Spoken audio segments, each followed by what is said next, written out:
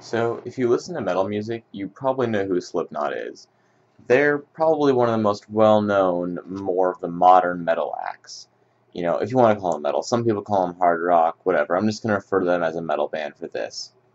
And they grew really, really popular alongside bands like Korn and System of a Down in the early and mid 2000s. But it's been a while, uh, I think it's been six years since they released their last album, so a lot of people are really excited about their new album, and I think it's called uh, Point Five: The Gray Chapters. I think is what it's called. Um, and I wanted to talk about their singles from this one. They've released three so far. I think there's one called Custer, which is their newest one, uh, the Negative one, and The Devil and I. And so I've never been a big fan of this band. I honestly haven't listened to that much of them. But what I heard, I wasn't terribly thrilled with. I didn't think they're a bad band, I still don't. They're just not really my style, personally. But I have a lot of friends who really like them, and so when they heard, when they told me that this new album was coming out, I figured I'd check out the singles from it.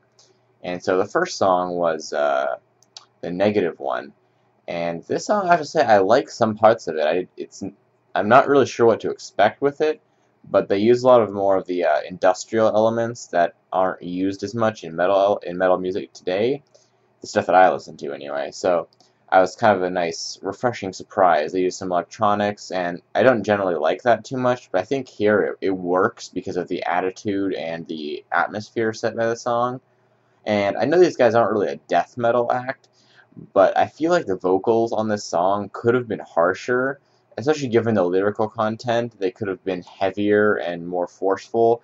They feel like a kind of an odd combination between like radio metal clean vocals and like melodic death or metalcore uh, harsh vocals, and it doesn't really work to me. I like uh, Corey Taylor as vocalist. I like him in uh, Stone Sour actually, is the band I like from them, but I feel like the vocals here just they could have been heavier and harsher, and also the drums could have been a little bit louder to give it more of a darker, uh, more aggressive edge that I think the song needs. Overall, I, this is a nice surprise. I wasn't really sure what to expect, but it came out pretty well. I think this is a nice choice for a single, and it's not a song that I'll, I myself will be going back to, but if you like Slipknot, I think this will be a song you'll enjoy it harkens back more to the really early stuff than the uh, more middle period. And the second one, the second single off this album is called "The Devil and I," and this song, I didn't like this one as much. I was, you know, kind of middling, maybe a little bit more positive with the first song, but this one, it's not necessarily bad, but it's really, really, really repetitive.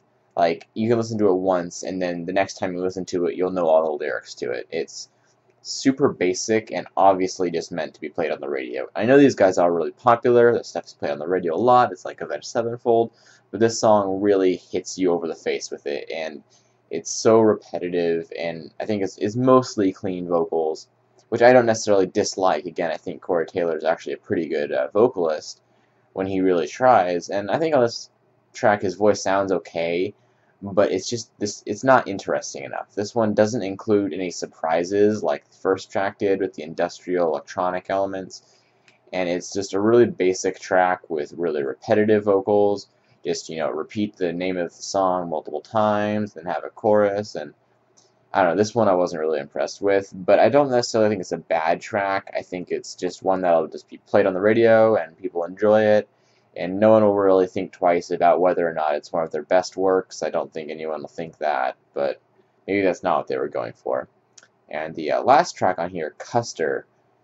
This one I've only listened to I think once because I just I couldn't listen to it again. I really did not like this one. I saw like a uh, tag on it that said it was going to be the heaviest song on their album, and so I was a little bit excited. Then I thought that I uh, that it would be really good, you know, I liked the heavier elements on their other two songs from this album, so I was excited about it. But honestly, I really didn't enjoy this. Maybe I need to listen to it again or something. But of the three, this is definitely the weakest. It's again, it's really repetitive, and the volume for each of the instruments just seems really out of place. Some of them are too loud. The drums, I think, are a little bit too loud at parts. The guitars are a little bit too loud at parts, too quiet at others and doesn't feel balanced and it doesn't feel polished. And I know people say that, you know, metal doesn't have to be polished, and I agree with that. But here, it's just the production and mixing of it doesn't make sense, and it comes out sounding really weird at some parts. Some parts it kind of, you know, molds back into turns into what I would expect it to sound like, and it works okay. But then it diverges, and you know certain instruments get louder, the vocals go off. He's, something happens, and it's just really confusing. Really, it's a cluttered song. They didn't edit it down enough. I think it's it's too much. It's too compact. It feels really claustrophobic and not like in a good atmospheric way. It's just it feels too chaotic to the point where it needs to be trimmed down. They need to trim the fat on this one. I didn't really like this one as much. Uh, I'll listen to it again and see maybe if I change my thoughts on it. I don't know. But if you like Slipknot, I think this will probably be uh, an album you'll enjoy. Again, myself, I'm not really a huge fan of them. I don't really listen, go out of my way to listen to them or listen to them in my free time. But if you like them, you know, I think you'll enjoy this one. I would definitely suggest uh, the negative one if you were going to choose one of these singles to listen to. I think that's probably the best one. Uh, the other two, you heard me say it. I wasn't really impressed with them at all. So thanks for listening.